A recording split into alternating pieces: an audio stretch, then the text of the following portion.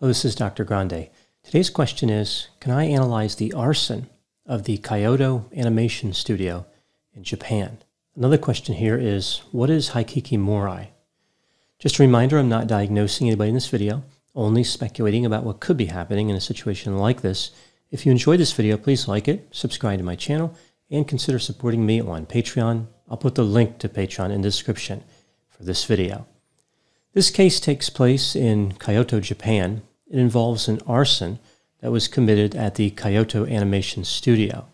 This is a successful studio that produces what is referred to as anime, which is a particular style of animation that is exceedingly popular in Japan and many other places.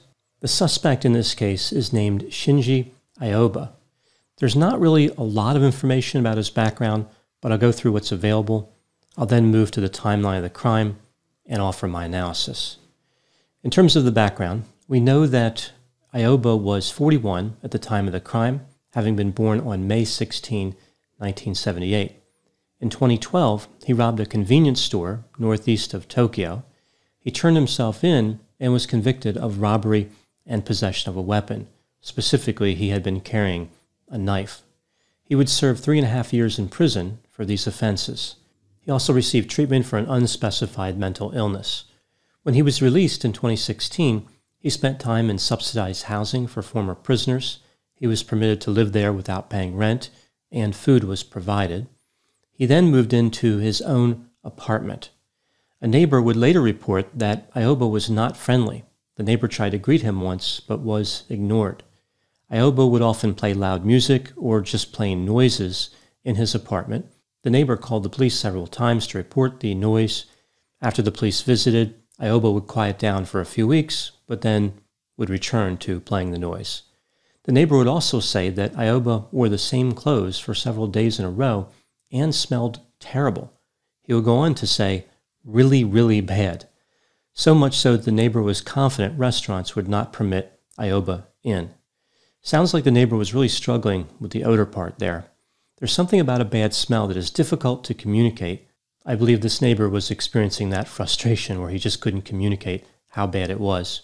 At some point, Aoba became convinced that Kyoto Animation Studios had stolen an idea that he had submitted to them for review.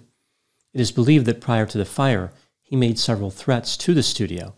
We know the studio received about 200 threats in the two years leading up to the fire. Just days before the arson, Aoba had another confrontation with that same neighbor I mentioned before. Again, it was about the noises. Aoba grabbed the neighbor by the shirt and hair while screaming at him, You're annoying. I will kill you. I have nothing to lose. In addition to the assault and the threat, there was the odor to think about. The assault was reported to the police, but by the time they arrived, Aoba was already gone. I can picture a police officer writing up a description of Aoba like to communicate to other officers, and the neighbor standing over the officer's shoulder saying, Did you put the odor on there? The officer's like, We got it. He smells bad. Moving to the timeline of the crime. After the confrontation with the neighbor, Aoba traveled to Kyoto. He purchased a wheeled cart. He then went to a gas station and purchased 10 gallons of gasoline. This takes us to July 18, 2019. Aoba pushed the wheeled cart with the gasoline to Studio One of Kyoto Animation. This is a three story building. About 70 people were working in it at that time. At about 10:31 a.m., Aoba entered the building and threw gasoline on several people before igniting the gasoline with a lighter. This caused an explosion and started a fire that quickly spread through the building. Within 25 seconds, the second and third floors of the building were completely filled with smoke. Aoba managed to set himself on fire. In the process, he fled from the scene. Two employees of the studio pursued him. After he collapsed on the street, some people tried to help him, thinking he was one of the victims. He was able to get up, but he collapsed again. The police would take him into custody as the employees were pointing him out as the person who was responsible for the attack. Multiple knives and hammers were found at the scene of the fire. It is believed they belonged to Aoba. 36 people died as a result of the attack, and 34 were injured. The fire had spread very quickly, and many people simply couldn't get out of the building in time. Aoba would be charged in connection with the murders and with the arson after he recovered from his injuries. he had sustained severe burns on his face, chest, and legs. Now, moving to my analysis. As far as the safety situation at the studio, during business hours, the door was left unlocked, the one that Aoba had entered, and the building had no security system. It also didn't have fire sprinklers. Technically, however, the building was in compliance with fire safety codes. Now moving to Aoba. As I mentioned, he had both a criminal and mental health history. He evidently made a number of threats toward the studio.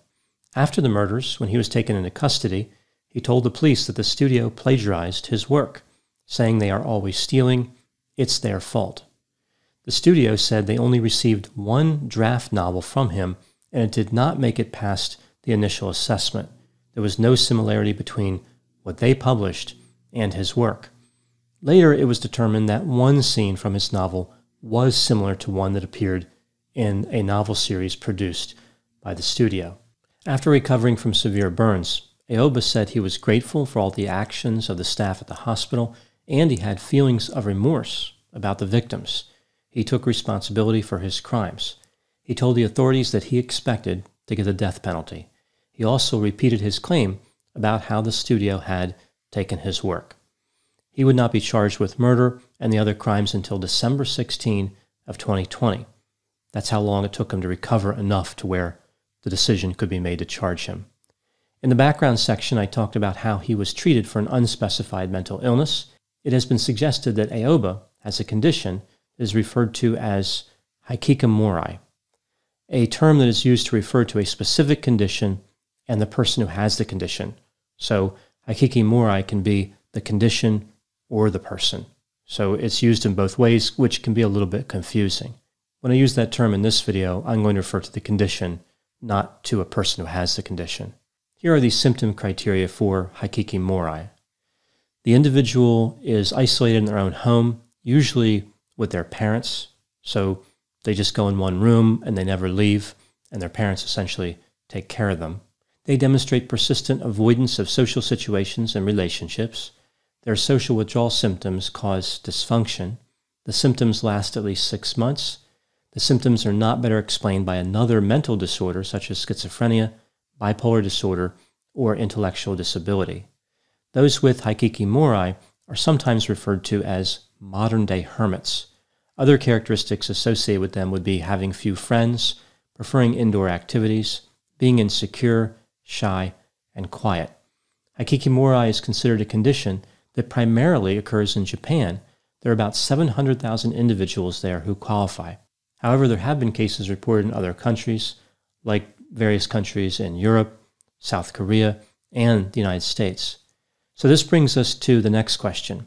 Is hikikomori truly a novel disorder?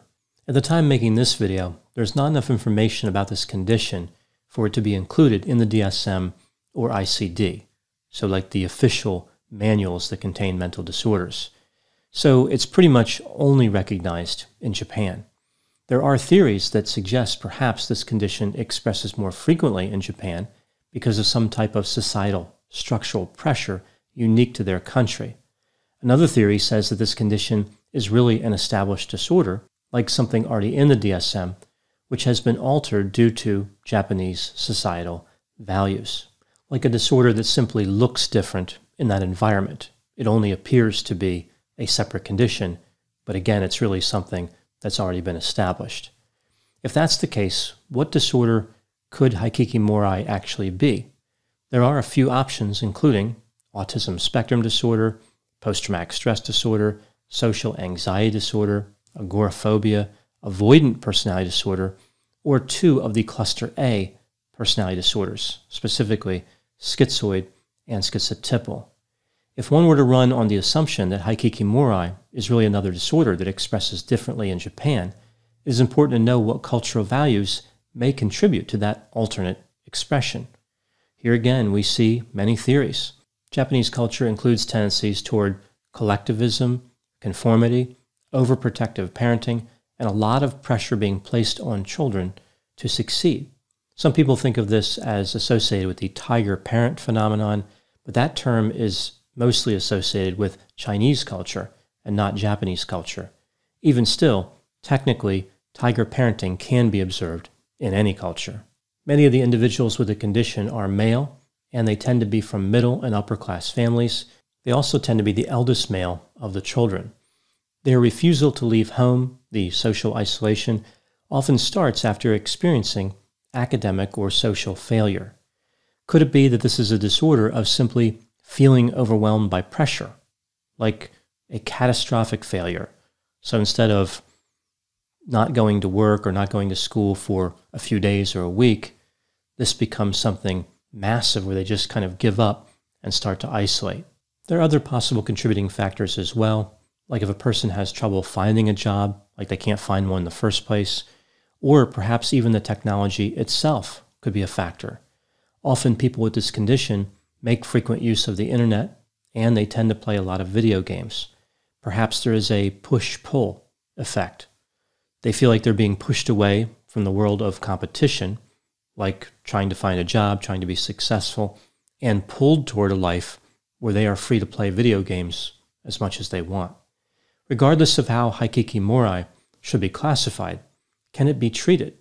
Right? So that becomes the question is there a treatment for this condition? Well, the treatment of this condition runs into the same problems we see with the other disorders I mentioned. If somebody has something like social anxiety disorder, agoraphobia, or cluster A personality pathology, they will seldom attend mental health counseling sessions. In addition, in the Japanese culture, seeking the help of a mental health professional is sometimes associated with shame like it's another sign of failure for some people. So, going back to the nature of hikikomori, if it is another disorder, which disorder is it? So, if we look at the DSM and the ICD and we try to find that parallel, which one really seems to match up? Well, specifically in the case of Aoba, I don't know, but in general, like based off the description of the condition in the research literature, like based on the description of hikikomori, it really does seem like it's similar to schizotypal personality disorder.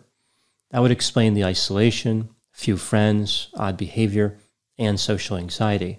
That would be my guess if the condition is not truly unique. But more research is needed to figure out the true nature of this condition. It could actually be a separate condition that is novel, one that is, again, mostly seen in Japan, not experienced in many other places. So at some point, perhaps the research results will show that it should be included in something like the DSM or ICD. So, what lessons can be learned from this case? One of the concerns with this particular crime is that it's going to make the stigma associated with mental illness even worse, specifically in Japan, but really the effect could be experienced in many places. Many people in Japan and in other countries are increasingly worried about people with mental illnesses being violent. Interestingly, about 1 in 60 people in Japan qualify as having hikikomori, but there have only been 10 instances of violence in 20 years from this group. So few that statistically, people with hikikomori are less likely to engage in violence than someone randomly sampled from the general population of Japan. So once again, we see the consequences of not understanding mathematics or not being willing to understand them. Regardless of what cultural values are dominant in a particular society, it's important not to exclude people with mental illness. There are a large number of people suffering in isolation with little hope of establishing meaningful social relationships. This isn't good for them, and it is not good for the larger society. Sometimes people just can't handle the expectations that are placed on them. There needs to be a better way to deal with that perceived failure than hiding people away. Those are my thoughts on the arson at Kyoto Animation. Please put any opinions and thoughts in the comment section. They always generate an interesting dialogue. As always, I hope you found my analysis on this topic to be interesting. Thanks for watching.